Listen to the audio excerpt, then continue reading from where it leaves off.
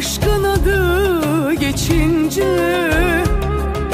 Yıllardır hep kaçardım Aşık olmak